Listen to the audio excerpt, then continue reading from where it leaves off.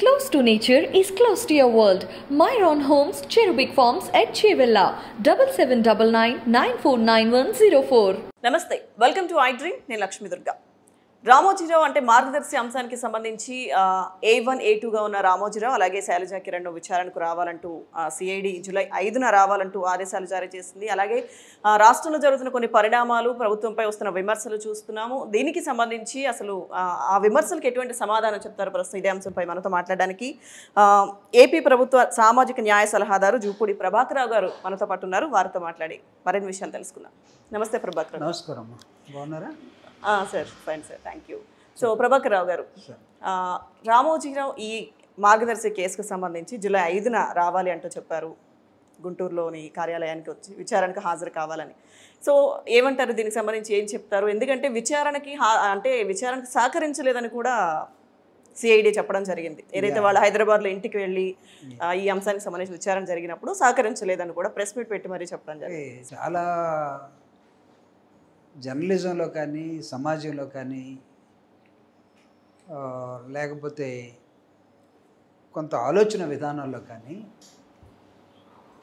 చాలా గొప్పగా రాణించినటువంటి పెద్ద మనుషుల్లో. రామోజీరావు గారు కూడా ఒకరు అది చిట్ ఫండ్ విభాగం తీసుకున్నా లేదా ప్రింట్ మీడియా తీసుకున్నా ఎలక్ట్రానిక్ మీడియా తీసుకున్నా లేకపోతే పచ్చళ్ళు తీసుకున్నా లేకపోతే పేపర్ తీసుకున్నా లేకపోతే ఒక సినిమా స్టూడియో సపరేట్గా వీటన్నిటిలో పెద్ద పేరున్నటువంటి వ్యక్తి. ఇలాంటి వ్యక్తుల మీద కొన్ని అభియోగాలు వచ్చినప్పుడు నాకు తెలిసి మనందరం కూడా రాజ్యాంగానికి బైండ్ అయి ఉంటాం. వాళ్ళ వ్యాపారాలన్నీ కూడా ప్రతిదీ చట్టపరిధిలోనే ఉండాలి. అంటే రామోజీరావు గారి అంశంలో ఉండవల్లి అరుణ్ కుమార్ గారి పో పోరాటం అంతా కూడా చూసినట్లయితే ఏపీ గవర్నమెంట్ ఇంప్లీడ్ అయింది ఆ కేసులో. తర్వాత అది సిఐడి చూస్తూ ఉంది. కానీ ఒకవైపు ఒకవైపు ఉండవల్లి గారి పోరాటం చూసినప్పుడు ఆ పోరాటాన్ని ఏమాత్రం లెక్క చేయకుండా చట్టాలని లెక్క చేయకుండా నువ్వు ఎవడు చెప్పుకుంటూ పో చెప్పుకో అన్న విధంగా బిహేవ్ చేసినటువంటి మన పెద్ద మనుషులు అనుకునే వాళ్ళల్లో ఈయన ఒకడు ఎందుకో అలా బయటపడ్డాడు. Ramoji Rao garu. With due respect I'm talking. Um, ఆ తర్వాత పెద్ద పెద్ద లాయర్లకి ఫీజులు ఇచ్చుకోలేక ఢిల్లీలో ఉండవల్లి అరుణ్ కుమార్ గారే తన కేసును తనే వాదించుకునే దశలోకి వచ్చేసాడు.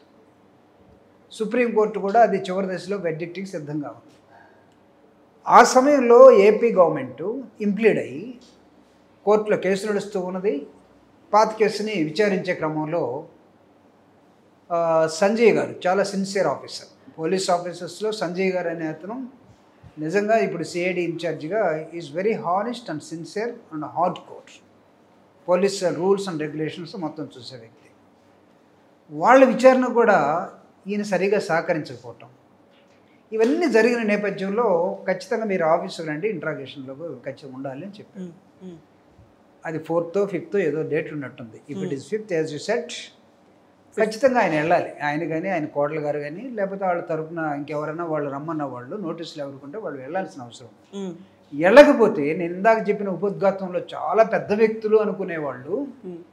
వీళ్ళు ఏమవుతారంటే సడన్గా కింద పడిపోయి చిన్నవాళ్ళు అయిపోతారు కోర్టులను గౌరవించరు చట్టాలని గౌరవించరు పార్టీల్ని ఐ మీన్ ప్రభుత్వాల్ని గౌరవించరు వ్యవస్థల్ని గౌరవించరు. ప్రతిదాన్ని మేము మేనేజ్ చేసుకోగలం. మాకు పలానా వాళ్ళు అన్నున్నారు అనే దృక్పథంలోకి ప్రజల ఆలోచన విధానాన్ని వీళ్ళే నెట్టినట్టుగా కనపడుతుంది. కాబట్టి డెమోక్రటిక్ ప్రాసెస్ ఈ దేశంలో నిలబడాలంటే ఖచ్చితంగా సిఐడి వాళ్ళు పిలిచినప్పుడు రామోజీరావు గారు వెళ్ళి తీరాల్సిందే. చట్టం ముందు అందరూ సమానం చట్టం పని తను చేసుకుని అది చేసుకొని పోతుంది. ఈ రెండు చాలా బూత్ పదాలమ్మా. నాకు తెలిసి చట్టం ముందు అందరూ సమానులు అనేది ఈ దేశంలో ఇంత దరిద్రంగా ఎక్కడ డెబ్బై సంవత్సరాల నుంచి న్యాయం కోసం పోరాడే వాళ్ళు కోర్టుల చుట్టూ తిరుగుతూనే ఉన్నారు చెప్పులు అరిగిపోయినాయి ఆస్తులు అరిగిపోయినాయి. లేకపోతే చట్టం తన పని తను చేసుకొని పోతుంది. ఒట్టిదే చట్టం ఎప్పుడు కూడా తన పని తను చేసి దానికి మాటలు రావు అది నడక రాదు. మనం దాన్ని నడిపించాలి. ఉమ్, దాని వైపు మనం చూసి కర్ర పట్టుకొని ఇది న్యాయం ఇటువైపు పొమ్మని చెప్పాలి. అప్పుడే చట్టం తన పని తను చేస్తుంది. కాబట్టి వీటిని కదిలించడానికి ఉండవల్లి గారు ఉన్నారు. ప్రభుత్వం ఉంది. ఇక్కడ సేడి వ్యవస్థ ఉంది.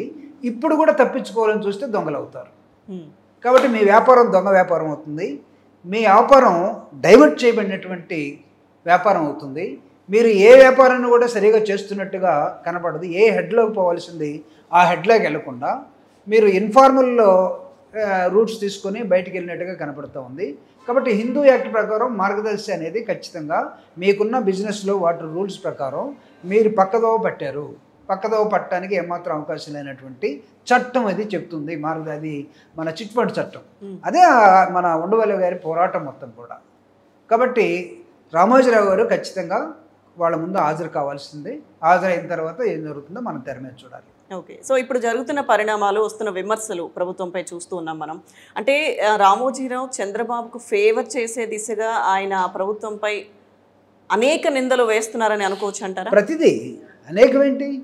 అసలు జగన్మోహన్ రెడ్డి గారు ఏ పని చేసినా ఉమ్, విద్యాకానికి ఇచ్చిన ఆసరా ఇచ్చిన అమ్మఒడి ఇచ్చిన ప్రతిదీ వీళ్ళకి బూతులాగానే కనపడుతుంది ప్రత్యేకంగా ఈనాడు పేపర్కి అది ఎట్లా కనబడుతుందంటే దానిలో మీరు ఎతికి అసలు వాస్తవం అనేది రాయకుండా ఎక్కడ పచ్చ అబద్ధాలు రాసి ఇదే వాస్తవం అని చెప్పమని వాళ్ళ విలేకరుల మొత్తానికి రెండు రాష్ట్రాల్లో సందేశ సంకేతాలు ఇచ్చేసారట నాకు క్లోజ్గా ఉన్నటువంటి కొంతమంది మిత్రులు కూడా చెప్పడం జరిగింది.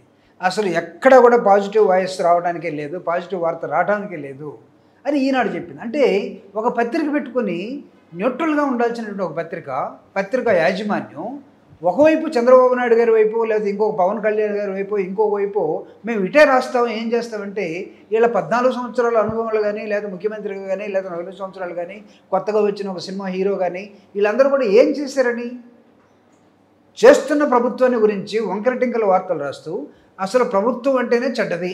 ప్రభుత్వం అంటేనే జగన్మోహన్ రెడ్డి గారు జైలుకి వెళ్ళాడు ప్రభుత్వం అంటేనే ఇది వీళ్ళు వీళ్ళు క్రిమినల్స్ ఈయన ఇది ఈ అసలు క్రిమినల్స్గా ఉంది వీళ్ళు. జైలుకి వెళ్ళాలి వెళ్ళడానికి సిద్ధంగా ఉంది వీళ్ళు. జగన్మోహన్ రెడ్డి గారు కాదు.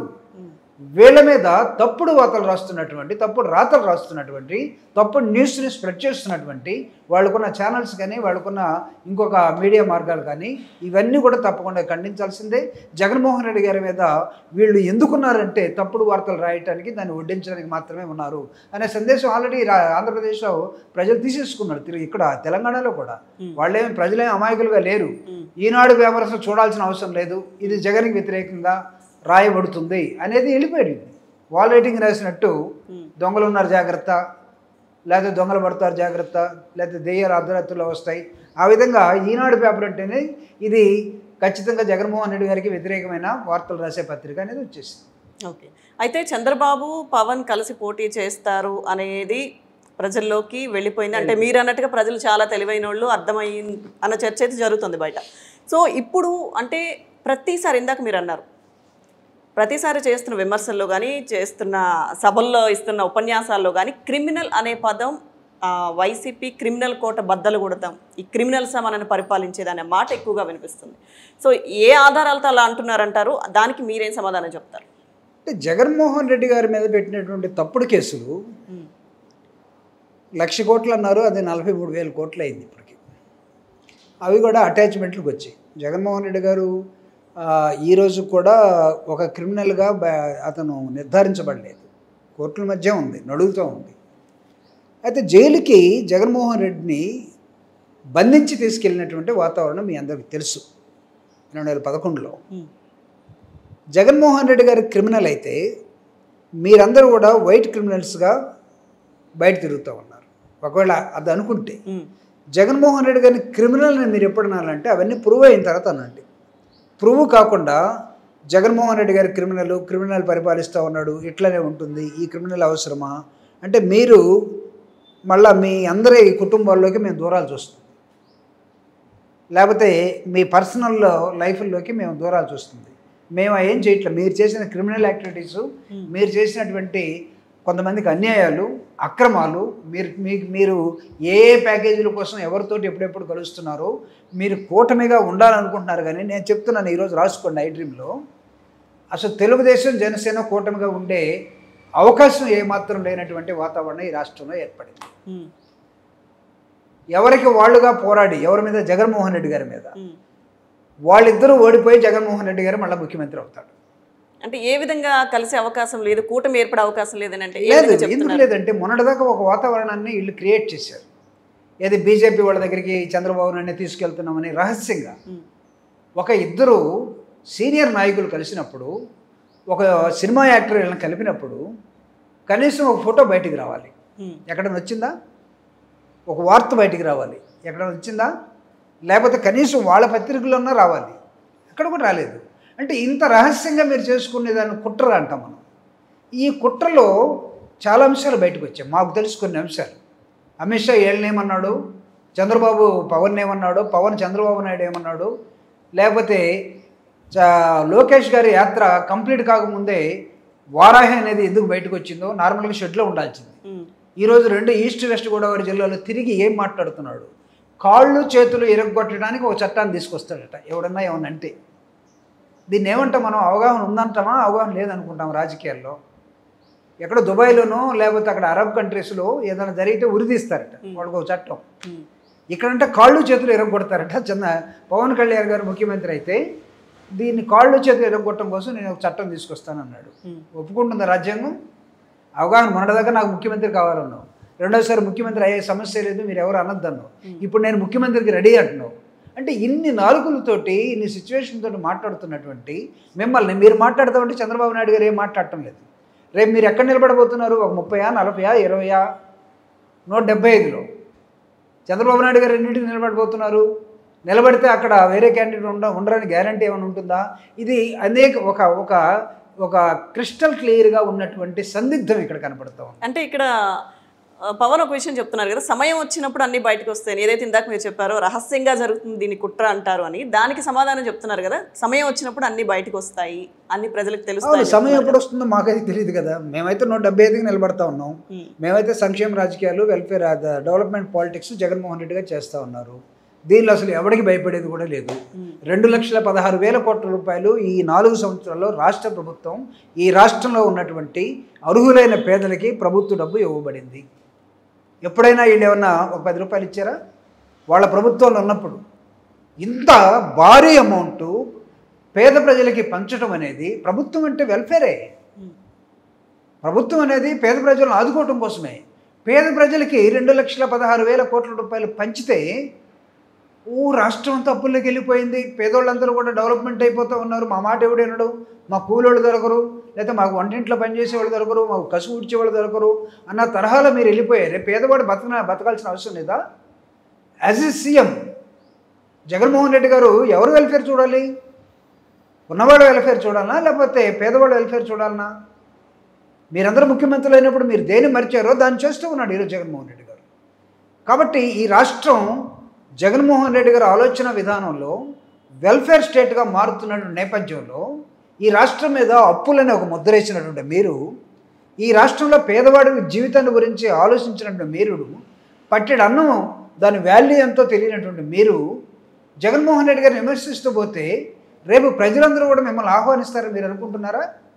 ఖచ్చితంగా ప్రజలు బుద్ధి చెప్తారు. కాబట్టి ఈ క్రమంలో వీళ్ళందరికీ ఒక కాన్ఫ్లిక్ట్ అనేది వీళ్ళ మధ్య ఏర్పడిపోతూ ఉంది. ఈ కాన్ఫ్లిక్టు నాకు తెలిసి పవన్ కళ్యాణ్ గారు చెప్పినట్టుగా ప్రభుత్వ వ్యతిరేక ఓటుని జాగ్రత్తగా ఒక గంపలో పెట్టి కోడి పిల్లలను పెట్టినట్టు ఆ గంపంతా తీసుకెళ్ళి చంద్రబాబు నాయుడుకి ఇచ్చి ఆ చంద్రబాబు నాయుడు ముఖ్యమంత్రి చేయాలంటే చంద్రబాబు నాయుడు ముఖ్యమంత్రి అవడానికి లోకేష్ ఒప్పుకుంటాడా? లోకేష్ ముఖ్యమంత్రి కావడానికి పవన్ కళ్యాణ్ ఒప్పుకుంటాడా? మరి అబ్బాయి మీరిద్దరు చిన్నపిల్లలు వదిలేసేయండి నేను ఆల్రెడీ అసెంబ్లీలో నేను సవాల్ చేసి వచ్చున్నాను నేను ముఖ్యమంత్రి అయితే తప్ప మళ్ళీ ఇక్కడికి రానన్నాను.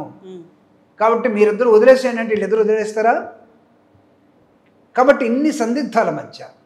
అంటే వీళ్ళిద్దరి మధ్య మిత్రవైరుధ్యం ఉన్నట్టు కనబడుతుంది కానీ మిత్రవైరుధ్యం లేదు వాళ్ళిద్దరు వాళ్ళ వాళ్ళ మధ్య శత్రువైరుధ్యం కనబడుతుంది. ఆ శత్రువైరుధ్యం మిత్రవైరుధ్యంగా మారినప్పుడు సమాజాన్ని సరిగా సరైన పద్ధతుల్లో అర్థం చేసుకొని వచ్చినప్పుడు నిన్నే ఒక ఒక పదం ఆడాడు పవన్ కళ్యాణ్ గారు తన బహిరంగ సభలో. ఇంతకుముందు రాజకీయ పార్టీలాగా అల్లాటప్పగా ఉంటుందేమో నాకు తెలీదు. ఎప్పుడో పందాతోటి వస్తున్నటువంటి ఒక ప్రజాస్వామ్య పార్టీ అన్నాడు. విప్లవ పందాతోటి వస్తుంటే నువ్వు సిపిఐ సిపిఎం వాళ్ళతో ఎందుకు కలవలేదు నక్సలైట్లతో ఎందుకు కలవలేదు ఎన్నికలు నిలబడే వాళ్ళు ఉన్నారు కదా. వాళ్ళని వదిలేసి నువ్వు బీజేపీ వాళ్ళతోటి తెలుగుదేశం వాళ్ళు తిరుగుతున్నావు? తెలుగుదేశం వాళ్ళు విప్లవ పందాకు ఒప్పుకుంటారా? బీజేపీ వాళ్ళు విప్లవ పందాకు ఒప్పుకుంటారా? కాబట్టి మీరు కలిసి ఒక చోట వచ్చే అవకాశం ఉందా? So as far as my analysis is concern when is talking about the revolution which is totally against the Telugu Desam party even that what when you're talking about Che Guevara or when you're talking about Puchalapalli Sundarayya when you're talking about Paila Vasudeva Rao Chandra Pulla Reddy Kanu Sanyal Charu ముజిందార్ ఇవన్నీ కూడా బీజేపీకి నచ్చినటువంటి పదాలు. మీరు ఎలా బీజేపీతో కలుస్తారు? BJP తన పంధాన్ని మార్చుకొని మీ పందాలోకి వస్తుందా? లేకపోతే మీరు బీజేపీ పందాలోకి వెళ్తున్నారా? చంద్రబాబు నాయుడు గారు ఏ పందాలో ఉండబోతున్నారు? కాబట్టి ఇక్కడ ఒక కూటమి ఏర్పడటానికి ఏమాత్రం అవకాశం లేనటువంటి ఒక సన్నివేశాన్ని పవన్ కళ్యాణ్ గారు చిత్రీకరిస్తూ. అదేదో ఒక సవాల్ చేసుకొని ఎక్కడికి పోయినా సరే ఇక్కడ ఈ ప్రాంతంలో తెలుగుది వైసీపీని గెలవనివ్వను అనే ఒక మాట మాట్లాడుతూ వెళ్ళిపోతా ఉన్నాం. చూద్దాం. ప్రజలు నమ్ముకోకుండా వాహనం నమ్ముకున్న వ్యక్తి ఎంత రాజకీయాలు చేస్తాడో చూద్దాం. ప్రజలు చూస్తారో కూడా మనం చూద్దాం. అలాగే స్థానిక నేతలను తీవ్ర స్థాయిలో విమర్శించడం కూడా చూస్తూ ఉన్నాం మనం. సో అంటే దీనికి వైసీపీ సమాధానం ఏంటి? జనరల్గా ప్రతిపక్ష పార్టీ వాళ్ళు ఇంతకన్నా అదే చేస్తారని భావిస్తాం కదా. స్థానిక నేతలను దెయ్యాలంటారు లేదా అక్రమార్కులు అంటారు లేదా తీసుకోముకున్నారంటారు ఇవన్నీ అనే దశలో ఒక పక్క లోకేష్ గారు కూడా అదే అంటున్నారు. రెండో వైపు పవన్ కళ్యాణ్ గారు కూడా అదే అంటున్నారు. సో వీటన్నిటిని మేము ఖండించుకొని చెప్పాల్సిన అవసరం మా మీద ఉంది. ఖచ్చితంగా మా వైఎస్ఆర్ కాంగ్రెస్ పార్టీ టోన్ కూడా మేము పెంచాల్సిన అవసరం ఉంది. ఇవన్నీ వాళ్ళు చెప్పేవన్నీ అబద్ధాలని చెప్పాల్సిన అవసరం ఉంది. విమర్శ ప్రతి విమర్శే కదా. తిరిగి మేము కూడా విమర్శలు చేయాల్సిన అవసరం ఉంటుంది. కానీ మేము చేసే విమర్శ ప్రజాస్వామ్యబద్ధంగా ఉంటుంది. వాళ్ళు చేసే విమర్శ అప్రజాస్వామికంగా ఉంటుంది. దీన్ని ప్రజలకే వదిలేస్తాం. ఇందాక నేను చెప్పాను ప్రజలు తెలివైన వాళ్ళే. Okay. We leave to the people okay. So ముద్రగడని అంటే కులద్రోహి అంటూ ఒక పోస్టర్ కూడా మనం చూశాను బహిరంగ సభ. సో అంటే ఏ- ఏం చేస్తున్నారు పవన్? ఏం చెప్పాలనుకుంటున్నారో? కుల రాజకీయాలు చేస్తున్నారా? కుల రాజకీయాలు మరి చేస్తున్నప్పుడు ఆ కులం వాళ్ళని ఆకట్టుకోవాలంటే ముద్రగడ కులద్రోహి అంటూ చెప్పడంలో ఏంటంటారు ఆయన? ఆంతర్యం ఏమై ఏ నిన్న చాలా విచిత్రమైనటువంటి అదే అది ఏ ఊరు అది నిన్న జరిగిన ఒక బహిరంగ సభలో ఒక ఊరిలో ఉమ్. కిర్లాకిమిడే ఎక్కడ ఉమ్. ముద్రగడ్డ గారి ఫ్లెక్సీ ఒకటి అట్ట ఫ్లెక్సీ ఒకటి వచ్చేసింది కులద్రోహి అని పవన్ కళ్యాణ్ గారు అక్కడి నుంచి లేదు లేదు ఎంతైనా ఆయన మన పెద్ద ఉమ్. దయచేసి మీకు దండం పెడతాను ఆ ఫోటో తీసేసేయండి మన పెద్ద ఆయన్ని మనం గౌరవించుకోవాలి అన్నాడు అంటే జ పవన్ కళ్యాణ్ గారు కాపు కమ్యూనిటీగా ఉండి కాపు ఏరియాలో నిలబడి కాపులు అందరినీ చేరదీసే క్రమంలో.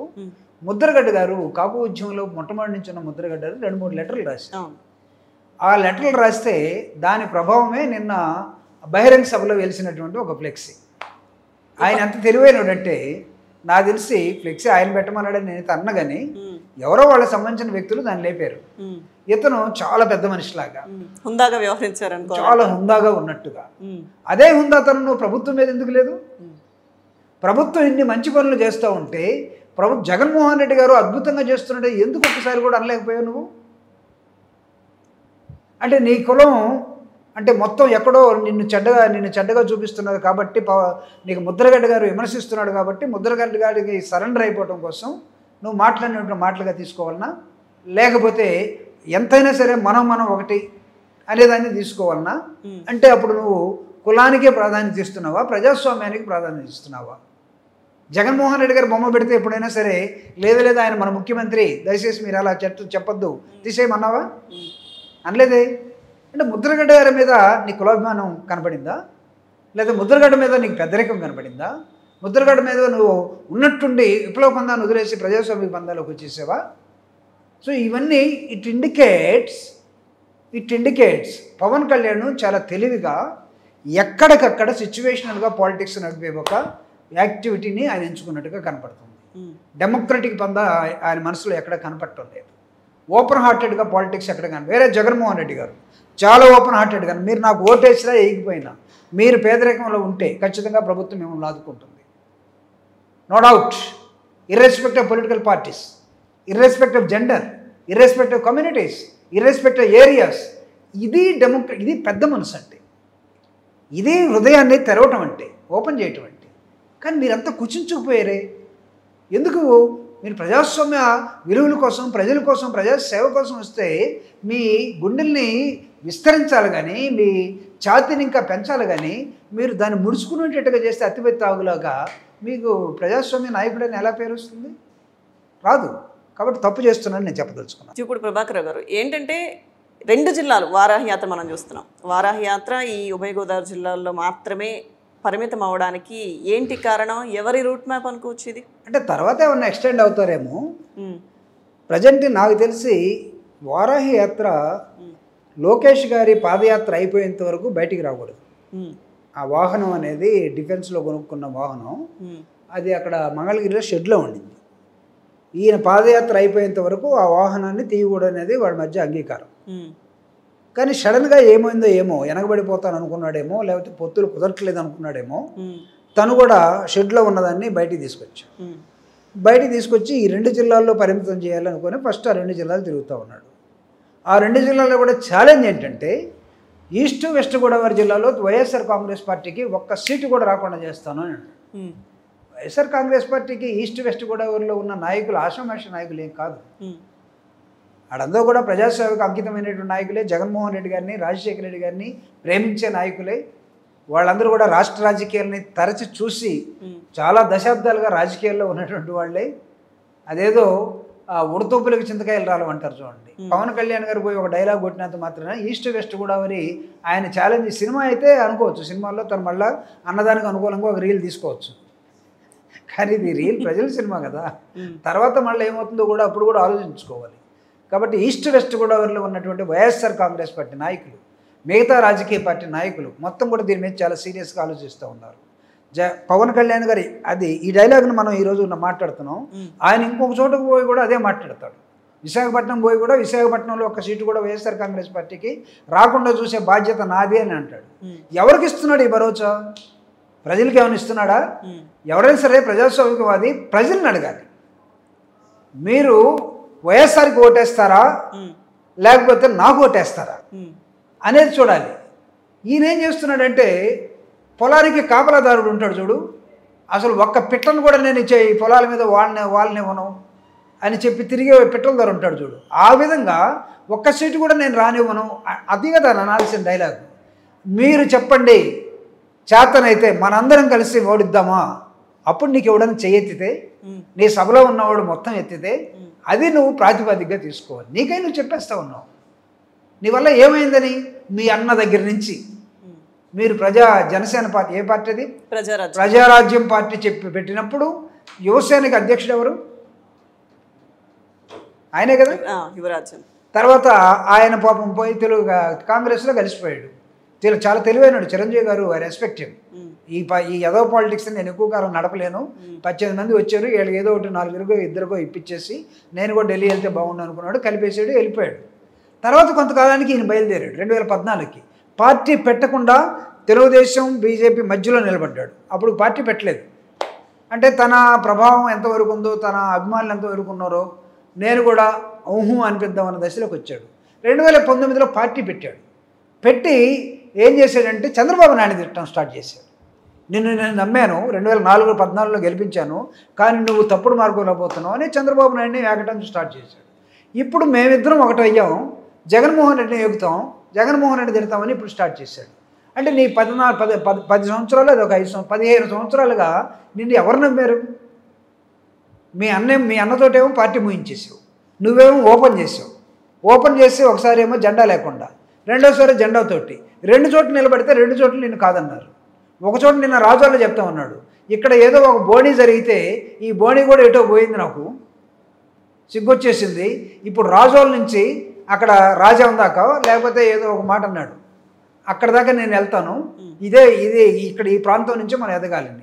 అంటే ఎన్నిసార్లు పదిహేను సంవత్సరాలు ఇప్పటికే అయిపోయినాయి పవన్ కళ్యాణ్ నాకు తెలిసి ఈ ఎన్నికలు అయిపోయిన తర్వాత చాప చుట్టేసుకొని ఇంకేమైనా సినిమాలు ఉంటే వాటికి వెళ్తాడని నేను భావిస్తాను ఈసారి ఖచ్చితంగా ప్రభావం చూపుతాం. ఇటువంటి వ్యాఖ్యలు మనం చూస్తూ ఉన్నాం. ఇప్పుడు ఏదైతే ప్రజలు నమ్మరో అంటే ఒకసారి వీళ్ళకి సపోర్ట్ చేసి ఎవరైతే మళ్ళీ చంద్రబాబును తిట్టి మళ్ళీ ఇప్పుడు ఎస్ కలుపుకోవాలంటే మీరు ఇందాక చెప్పినట్టు ప్రజలంతా అమాయకులు కారు అంటారు. సో వాళ్ళకి ఆల్రెడీ ఒక క్లారిటీ వచ్చేసింది అంటారా క్లారిటీ లేకపోతే మేము ఇస్తాం కదా? We're here through you people we're here to give clarity ఆయన ప్రజారాజ్యంలో లేడు? ఆయన యువసేనకు అధ్యక్షుడుగా? ఉన్నాడు కదా? ఆయనే కదా మొత్తం. ఆయన వాళ్ళ నాకు తెలిసి అరవింద్ గారు అంటే ఇప్పుడు ఏమర్థమైంది అంటారు ప్రభాకర్ గారు? పవన్ కళ్యాణ్ అంటే ఏమర్థమైంది మరి? Totally failure man is totally unstable man అతనికి ఒక స్టెబిలిటీ లేదు. అతను ఈరోజు ఏం మాట్లాడతాడో రేపు అది మాట్లాడు అతనికి భాష మీద కూడా పట్టులేదు రాజకీయాల మీద పట్టులేదు రాజకీయాల మీద ప్రజాస్వామ్య రాజకీయాలు విప్లవ పొందా అని మాట్లాడే వ్యక్తి విప్లవకారులతో ఉన్నాడా? ఉమ్, అంటే నీ సొంత విప్లవం ఏమన్నా ఒకటి తయారు చేసేవా? ఉమ్, విప్లవ పందాలతో ఉన్నటువంటి రాజకీయ పార్టీలతో లేవు కానీ రెండు వేల పంతొమ్మిదిలో ఉన్నావు ఉమ్, రెండు వేల పంతొమ్మిదిలో సిపిఐ తోటి ఉన్నావు సిపిఎం తోటి ఉన్నావు బీఎస్పీ తోటి ఉన్నావు పేదల పార్టీ తోటి.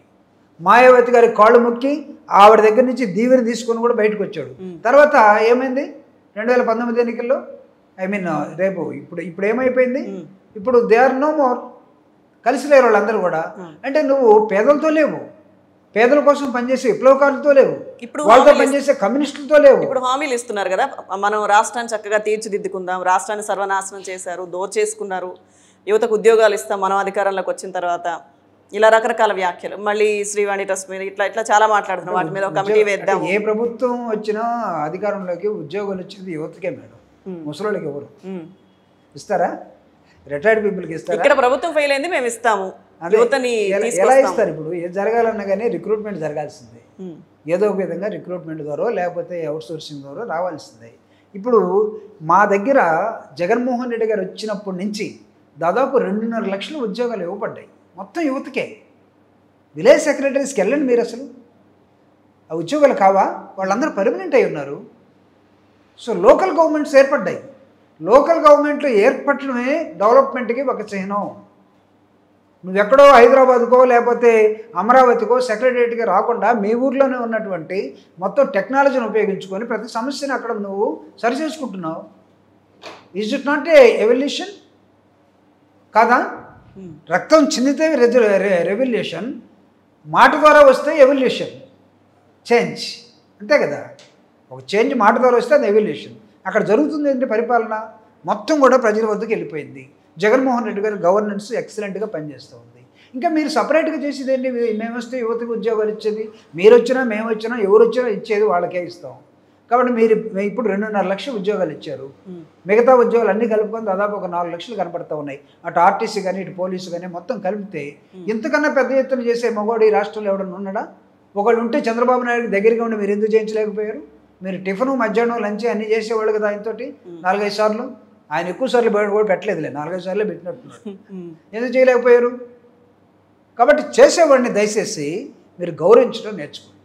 ఒక్కసారన్నా పెద్ద మనిషిగా ఉండండి. ఐఎమ్ రిక్వెస్టింగ్ యూ ఒక్కసారన్నా మీ హృదయాన్ని పరచండి అట్లా నమ్ముతారు జనం. అయితే ఎస్సీ ఎస్టీలకు తీవ్ర అన్యాయం జరుగుతుంది. ఎస్సీ ఎస్టీలకు నిజంగా చాలా ఇబ్బందులు పడుతున్నారు. వాళ్ళకి అన్యాయం జరుగుతుందని ఒక వ్యాఖ్య అయితే చేస్తున్నారు. ఇది కూడా ఈ విమర్శపై మరి ఏం చెప్తారు? నిజంగా అసలు ఏపీలో ఎస్సీ ఎస్టీలకు అంత అన్యాయం జరుగుతుందంటారా? అట్టడుగు వర్గాలుగా నిచ్చిన మెట్ల కుల వ్యవస్థలో కింద భాగంలో ఉన్నటువంటి ఎస్సీ ఎస్టీలు. మనకు స్వతంత్రం వచ్చి డెబ్బై ఐదు సంవత్సరాలు చెప్పుకుంటాం. ఇప్పటికీ వీళ్ళకి అన్యాయం జరుగుతుంది అని కొత్తగా పార్టీ పెట్టుకుని వచ్చి మీరు చెప్పాల్సిన అవసరం లేదు.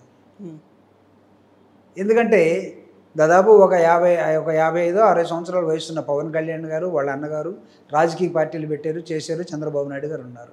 మీరందరూ కూడా ఒక విధంగా చెప్పాలంటే ప్రభుత్వాల్ని ఏలినటువంటి వాళ్ళు. అప్పుడు గుర్తు రాలేదా? ఎస్సీ ఎస్టీలు వెనకబడి ఉన్నారు లేదా? ఈ వెనకబాటితనం ఇది అట్టడుగు వర్గాల వాళ్ళు చేసుకున్నది కాదు.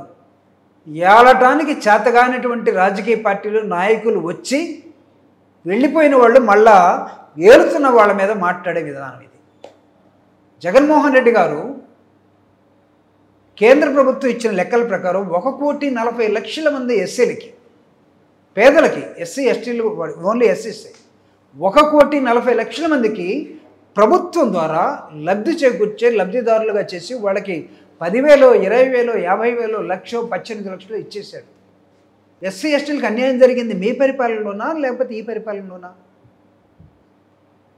లేకపోతే మీ అన్నగారు మంత్రిగా ఉన్నప్పుడు మీరు యువసేన నడిపేటప్పుడు అప్పుడు ఎస్సీ ఎస్టీలు అందరూ బాగుండి ఇప్పుడు సడన్గా పడిపోయారా? దయచేసి చరిత్రను చూడండి ఒకసారి. ఎస్సీ ఎస్టీల కోసం మీ మీ పాత్ర ఏంటో కూడా చూడండి కొంతకాలం. నేనే చెప్తున్నాను. నిచ్చిన మెట్ల కుల వ్యవస్థలో ఈ రోజు కూడా అట్టడుగున ఉన్నటువంటి దళిత వర్గాలు పేద వర్గాలు దీనికి కారణం పరిపాలించినటువంటి రాజకీయ పార్టీ. పరిపాలనలో మీరున్నారు. ఒళ్ళు దగ్గర పెట్టుకొని మాట్లాడండి. బ్లేమ్ చేయటం కాదు. జగన్మోహన్ రెడ్డి గారు పేద వర్గాలకి మొత్తాన్ని కూడా ఇంగ్లీష్ మీడియం ఇంట్రడ్యూస్ చేసి పేదింటి పిల్లలు ప్రపంచాన్ని ఆలాలి అనే ఒక దృక్పథంతో ముందుకెళ్తున్నాడు. మీకు ఎప్పుడో పొందా అన్నారు కదా ఎప్పుడైనా ఆలోచన వచ్చిందా? పేదంటి పిల్లలు యూనిఫామ్ ఇవ్వాలి వాళ్ళకి షూ ఇవ్వాలి సాక్స్ ఇవ్వాలి వాళ్ళకి బెల్ట్ ఇవ్వాలి వాళ్ళకి బ్యాగ్ ఇవ్వాలి బ్యాగ్లో మెటీరియల్లో బైజూస్ ఉండాలి మూడో తరగతి నుంచి ఐఏఎస్ దాకా ఆలోచన ఉండాలి. నీకు కావాల్సిన అంశాలు ఎప్పుడైనా మీరు చేశారా ఇవన్నీ? చెప్పండి మీరు దళిత పిల్లలే కదా. ఈరోజు కూడా ప్రభుత్వ బడులకి వెళ్తుంది ఎవరు? పేద వర్గాలే. మిగతా వాళ్ళందరూ కాన్వెంట్లు నారాయణలు చైతన్యులు నలందాలు ఎంచుకొని పోతా ఉన్నారు. మీ పిల్లలందరూ ఎక్కడ చదువుతున్నారు? తెలుగు మీడియం ఉంటుంది. దాంతోపాటు ఇంగ్లీష్ మీడియం అంటే తెలుగు చచ్చిపోయింది తెలుగు సంస్కృతి నాశనం చేశాడని గగ్గోలు పెట్టిన మీరందరూ కూడా దళితులకి అన్యాయం జరుగుతుందని మీరు ఎలా మాట్లాడతారు ఇక్కడ? దళితుల కోసం జగన్మోహన్ రెడ్డి గారు సుప్రీంకోర్టు దగ్గర వెళ్ళి వీళ్ళందరికీ ప్రభుత్వ పాఠశాలలో నేను ఇంగ్లీష్ మీడియం పెడుతున్నాను. సుప్రీంకోర్టు వద్దన్నా సరే నేను సిబిఎస్ఈ సిలబస్ పెడతాను అని చెప్పి వచ్చాడు. ఆయన మగాడు వీళ్ళ దళితులు ఉద్ధారకుడు ఆయన అవుతాడా? వీళ్ళు అవుతారా? పేదరికం ఇంకా ఉంది ఈ రోజుకి దేశంలో లెక్కలు చెప్పమంటే ముప్పై కోట్ల మంది ముప్పై కోట్ల మంది ఈ దేశ జనాభా ఇప్పటికీ ఒక్క పూట భోజనంతో సరిపెట్టుకొని బతుకుతున్నటువంటి జనాభా ఉన్నారు. వాళ్ళల్లో దళితులు పేదలు ఎక్కువ. Who is responsible plus for all these bloody things do you think that this society has been developed like anything it has been diminished by you people చేతగాని వాళ్ళందరూ ఏలటానికి వచ్చి ఐదు సంవత్సరాలు పది సంవత్సరాలు గడిపి వెళ్ళారే. You are the responsible you don't have any role to play to point out somebody I'm telling you మీ అన్నున్నాడు పది సంవత్సరాల రాజకీయాల్లో. మీరు పదిహేను సంవత్సరాల నుంచి మీరున్నారు. ఆర్ నారాయణమూర్తి గారిని చూసి నేర్చుకోండి. యూనివర్సిటీ అని ఒక సినిమా. ఆ సినిమాలో జరుగుతున్నటువంటి విద్యార్థులకి పేదలకి ఇంగ్లీష్ మీడియం మీద ఇంగ్లీష్ మీడియం పేద పిల్లలకి కావాలని ఆర్ నారాయణమూర్తి గారు తీసిన సినిమా ఎప్పుడైనా మీరు తీసారా? మీరు పెద్ద హీరో కదా. తీసారా? సామాజిక బాధ్యత ఉందా? హీరోయిన్లు పెట్టుకొని తైతక్కలాడే సినిమాలు కాదు. లేదా డబ్బుల కోసం సినిమాలు తీయటం కాదు. సమాజం కోసం సమాజ మార్పు కోసం ఆర్ నారాయణమూర్తి గారి యూనివర్సిటీ అనే సినిమా ఒకసారి పవన్ కళ్యాణ్ గారు చూడమని నేను కోరుతాను ఆయన ఎవరి గురించి తీసాడో చూడండి. రాజ్ జగన్మోహన్ రెడ్డి గారు పెట్టిన ఇంగ్లీష్ మీడియం గురించి తీసిన సినిమా తీసి ఇంగ్లీష్ మీడియాన్ని అంబేడ్ డాక్టర్ బిఆర్ అంబేద్కర్ గారు ఏమంటాడంటే పులి పాలు తాగిన వాడు ఎంత శక్తివంతంగా ఉంటాడో ఇంగ్లీష్ నేర్చుకున్నవాడు అంత శక్తివంతమైన వాడు ఆ విధంగా గౌరవించబడతాడు సమాజంలో అని చెప్తాడు. మీరు దాన్ని ఎందుకు వ్యతిరేకించారు? జగన్మోహన్ రెడ్డి గారి పరిపాలనలో దళితులకి పేదలకి అన్యాయం జరుగుతూ ఉంటే ఇది చదువే కదా మనకు ఆయుధం. మాలాంటి పే- పేద కులాలకి ఆయుధాలు మార్గాలు ఏంటి? చదువే నాలెడ్జే. దాన్ని మేము ఇంగ్లీష్లో మాట్లాడటానికి వీల్లేదని మా నాలుకలు కోసేసే విధానంలో మీరు తెలుగు మాత్రమే చదవండి మా కూలోడిగా మీరు ఉండాలి. మీరు పొరపాటున ఇంగ్లీష్ నేర్చుకుంటే మీ పిల్లలు కూడా అమెరికా వెళ్ళిపోతారు ఇంగ్లాండ్ వెళ్ళిపోతారు లేకపోతే ఫారెన్ వెళ్ళిపోతారు మాకు కూలోడు ఎవడు సో ఇటువంటి వ్యాఖ్యలు చేసి ఇప్పుడు ఎస్సీ ఎస్టీల అభివృద్ధి కోసం అభివృద్ధి కోసం దొంగ నాటకాలు. Thank you thank you so much Jupudi Prabhakar garu. Thank you నమస్కారం.